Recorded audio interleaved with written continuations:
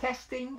Yeah, testing. I get tested every day because I'm important and you are not. Jared Kushner, I put him in charge of the tests, and he said, you know, in March and April and May, it's the Democrats, the Democrat cities where they're dying. So we'll just stop the testing and they can die.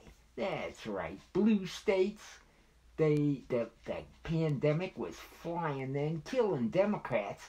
So we said, stop the testing. Thank you, Jared. What a great idea. I went to Jared.